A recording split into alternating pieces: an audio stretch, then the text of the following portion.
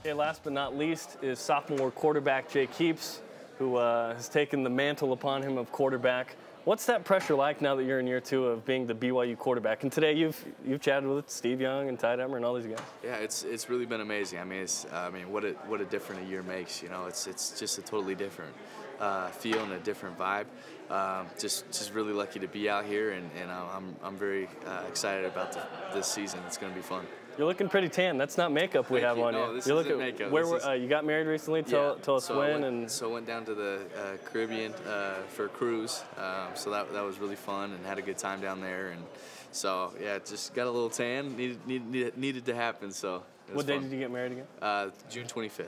Congratulations yeah, on thank that. Thank you, thank you. Uh, let's start with our first email. This one from Dave Roberts. He says, "How do you think being married will help you become a better leader and quarterback?" Um, I think it would just keep me keep me a little more focused. I think uh, you know, uh, not running around, you know, um, just uh, late nights and stuff like that. I think it's just you know going to help me just uh, you know relax and, and just you know keep my head and, and uh, just uh, concentrate a little bit more. And, and you know, I have a little bit more to play for.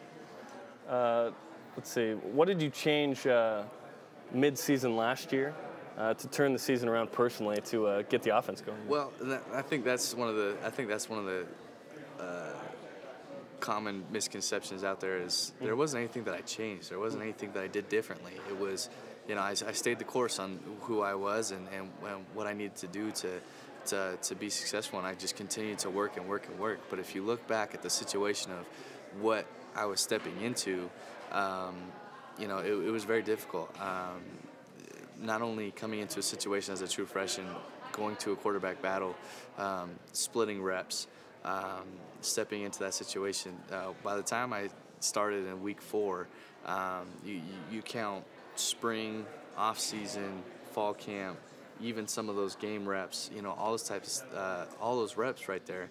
Um, I probably was stepping in as the starter with probably one third of the reps than an average starting quarterback. Um, so that that in itself was a difficult situation. On top of being a true freshman, on top of uh, teetering between two different style of offenses because Riley was so different from me. Right. Um, you know, so at that point, our, our offense is really in a limbo.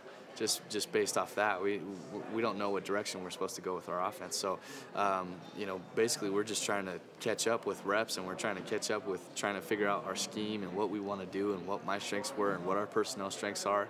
And so, you know, I think that second half of the season where we just took off, I think you really saw us, you know, um, taking off in that manner because we'd finally gotten those reps. We'd finally gotten the chemistry together. So, um, you know, now looking forward to that, um, now having all of the reps, now having most of the reps from this whole off season, um, you know, we're, we're looking to have a fun season right out of the get go.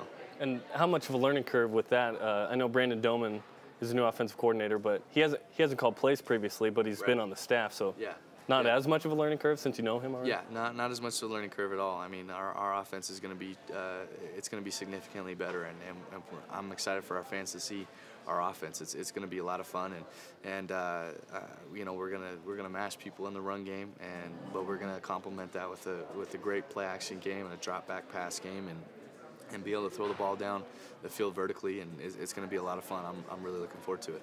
Peter Wright asks if you could switch one player from defense to offense, who would it be? From defense to offense. great question. That is a good question. I'd have to think about that for a second.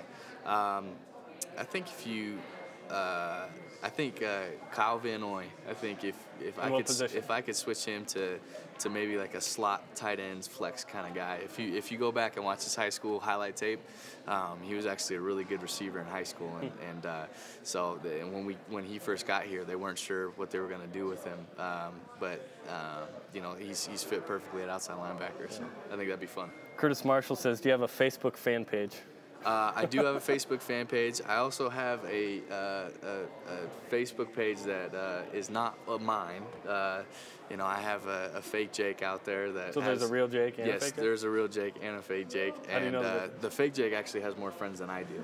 So Okay, that's yeah, you know. so um, you know, it's it's uh, it's it's funny to see what he writes on there every now and then, and you know, I keep mine pretty private and, and stuff like that. So. Um, but it's just it's, it's funny. It's funny to see that kind of stuff. Jeff Cole, what about this coming season excites you the most? Um, gosh, I mean, you look at you look at the season and, and what has in store for us. You know, going independent and. Uh, and, and, being partnered with the worldwide leader in sports with ESPN, um, to be able to, for our fans to be able to see us week in and week out um, uh, on a consistent basis with these big games. Um, I mean, you a lot of questions. The question I've been asked a lot is, what game are you looking forward to most this season? And you look at it and you're going, well, gosh, our our opener uh, versus Ole Miss September 3rd in SEC. You're playing a, a, big time SEC team. Then you look at Texas and and we're playing at Texas, and you got Utah, our home opener, and then you got Central Florida and, and Oregon State, Oregon State, and, and we, we play Utah State. We'd like to get that one back, and and uh, and you know TCU at Dallas Cowboy Stadium, and the list goes on and on and on, and and it's just going to be so much fun this year for our fans and for us as players, and and being an independent, every game matters. Every game is, is a big game for us. It doesn't matter who we play, so I think that's always fun. Jonathan Gardner says, "What cornerback has been particularly tough to go against in practice?" Um, I uh, I think they've all done really well. I think I think our, our, our, DBs have done extremely well. It's hard to replace an Andrew Rich mm-hmm. um, with his physical play and uh, leadership on the field, but our I think uh, co- coverage wise, I think I think our d- defenses DBs, I think the windows have been smaller um, in spring ball and, and, seven on sevens, and, and, and uh, they've been doing a fantastic job. Preston Hadley's come in and done a, uh, a great job in, the boundary corner, and, and uh, you know Corby Eason is still recovering from from his injury, um, so we're looking forward to having him back. But uh, we have a lot a lot of depth at corner that we haven't had in, in a long, long time. Once again, we're chatting with uh, BYU quarterback Jake Heaps. If you have a question for Jake, Go to our Facebook page, facebook.com slash BYU Sports. Jonathan Anderson uh, asks, as a player, how much contact do you have with recruits, and what do you try to convey to them about the BYU experience if you're able to speak with recruits? Um, I, I, I, when recruits come into town, um, I'll, I'll, be around the offices, and, and I'll be, you know, I, I'm always willing – um, at all times to talk to recruits and their families, and, and that's that's a big deal to me. I want to I want to play with the best of the best, and, and I want to see our program succeed even after I'm gone. So I'm, I'm always willing to help with that, and uh, um, you know, and what what I tell them is just you know anything they have questions with i just you know give them an honest and open answer and you know with the recruiting it's it's such a crazy uh, deal. It's, it's such a crazy ordeal, and you have these coaches that it's their job to recruit you, and, and sometimes they'll say anything to to tell you. And, and for me, having that experience and, and being recruited by almost anywhere in the country, um, I think I have a good insight on, on what the recruiting's like and, and be able to relate to, to that player and, and, and that particular family and just give them an honest and open answer and you know and, and uh, right. just you know let them know what BYU is all about. And you've been quite the spokesman. Uh with some of the guys. I, I know Ross Apo yeah. helping and, and getting him here, yeah, so yeah, good stuff it's. It's been great. Tyler Flake uh, says, will we uh, see Riley Nelson coming in for certain Wildcat type plays? And I would add, how do you use his talents in the offense? Um, well, I, as of right now, we, we, we don't have a package in. Um, we don't have anything like that. Um, and O'Reilly's a, a, talented player, and, and, and uh, certainly he makes plays with his legs, no question. Um, so uh, for me personally, I uh, you know I, I, I, would love to remain on the field at, uh, all the time, but uh, you know uh, for for the team's sake, I, I have no idea what's what's going to happen with that, and and we'll, we'll, we'll see what happens. Uh, another question from Tyler says, "How many uh, have any of the tight ends stood out in practice? I know people are waiting for some, at least some guy or guys to emerge as, right. hey, who's the Dennis Pitta, Jonny Harline here?" Yeah, absolutely. I mean, we've had a great tradition of tight ends, and and it's very interesting because we have good tight ends, and we have about six of them all at the right, all at the same time. So. Um, you know, it's it's been very interesting to watch that uh, develop, and and uh, they've continued to grow and develop. And I wouldn't say there's anybody that has necessarily stood out. I think I think they're all getting better, and I think they're um, understanding the game a little bit more. And, and, I'm very very excited to have Coach Reynolds as their as the tight end coach, and and uh, he'll coach them up. He'll get them right. Not having anyone emerge from a talented group is that a good problem, or would you prefer that one or two kind of stand out? I would love for one or two to stand out, mm-hmm. um, preferably. Um, but uh, you know, who knows? We'll we'll see what happens. It definitely won't be a switching man's game like we did last year, where we'll have all five of them play. It'll it will definitely narrow it down And but, some have changed positions, right? Um, like uh, yeah, Mike Muleman. Mike is Muleman's- Mathews a receiver, not a tight end uh, anymore? Is Math- he- Mathews is still. Uh, I, I would consider him a tight end. He, tight he plays. He plays more of a select, flex tight end slot position. Okay. Um, and uh, so we're, we're we won't have as we won't have a rotation like we did last year. We'll we'll we'll, uh, we'll keep we'll narrow it down.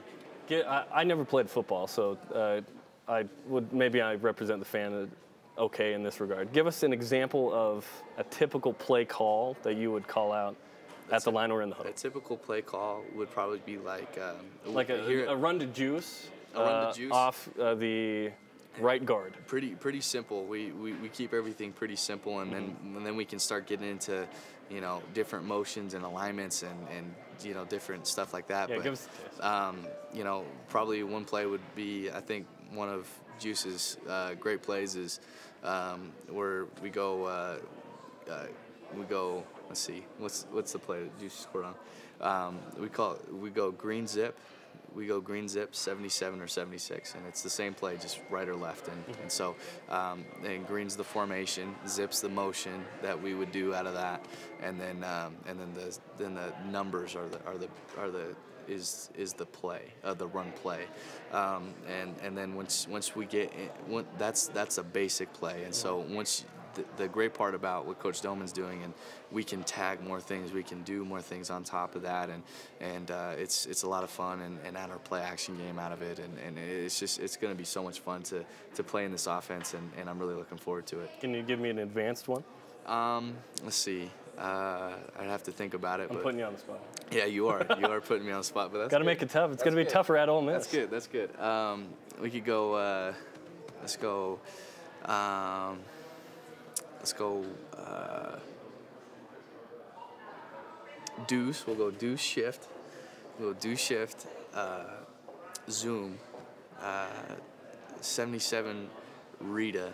X over. That's that's something off the top of my head. That's not the most complicated, But So what was that? That's so basically is we deuce the formation, shift. We're shifting a tight end um, uh, to to one side of the field.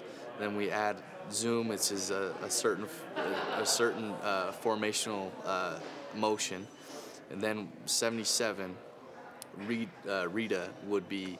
Um, so we're play actioning now. We're faking the 77, and we're, we're, we're play actioning, and then X over would just tell the X X receiver that he's got an over route. So and everybody has a certain route that they're supposed to run within within that concept that, that they know. So and, Okay. and all we do Good is just tag the X with the over. So Good stuff. Didn't understand a word of that. Jonathan Gardner asks, uh, you were listed last year at 61194. What are you now? Well, they, uh, yeah, they. Uh, I'm, I'm not 6'1". I wasn't 6'1 last year. I was, I was, I was 6'2". So I'm 6'2", Okay. um, 205 right now, and uh, my goal would be up to get. My goal is to get up to 210 for the season. And so. you're married now, so Yeah, I'm s- married now. suggested meals. Or Well, that's the wife? thing is, you know, it's it's not doing it the wrong way. It's doing it the right way, and and and, and uh, doing it with muscle, not Yeah, fat, and and uh, so we're, we're yeah, I'll definitely be fed well, but it, it won't be uh, where I get where I get nice and plump, you know. Right. So it'll Sounds be good. good, yeah. Appreciate the time. Best of luck on the season, and thanks for the time. Hey, thank you for having me. Okay, thanks for joining us on BYUtv.org. If you missed it, it's on our website. Thanks for joining us.